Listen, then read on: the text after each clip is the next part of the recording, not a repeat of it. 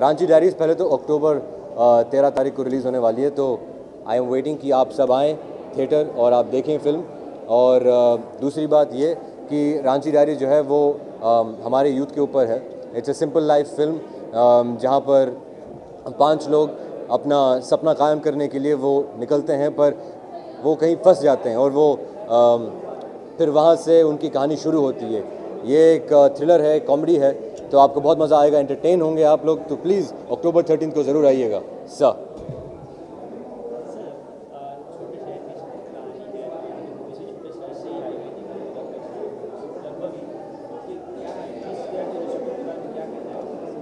Sir आप फिर से बोल सकते हैं।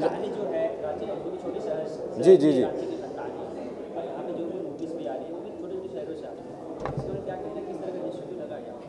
सर, आपने बहुत ही बढ़िया सवाल पूछा है। मुझे लगता है कि हमारी सिनेमा जो है, एक बहुत ही बहुत ही अच्छे मोड पर है, जहाँ पर रियल सिनेमाज रियलिटी सिनेमा जैसे आप समझ लो पिंक या ट्रैप या हमारी फ़िल्म जैसे रांची डायरीज़ या बरेली की बर्फ़ी या शुभ मंगल सावधान जो है, ऐसी फ़िल्में आजकल बहुत चल रही हैं और लोगों, दर्शकों को पसंद आ रही हैं। तो मुझे लगता है कि ऐसी फ़िल्में और बननी चाहिए रियलिटी के ऊपर और आई फील अब से लेकर अभी हम वर्ल्ड सिनेमा के तरफ़ जा रहे हैं तो Indian cinema is going to be world cinema very soon and actually it is already yes sir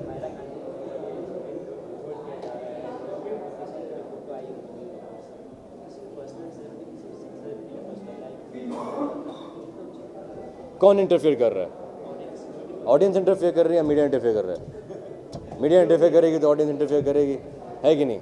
तो ये इसके ऊपर मैं बोल नहीं सकता।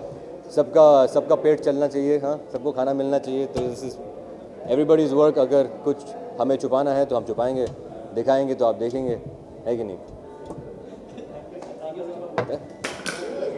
Sorry sorry sorry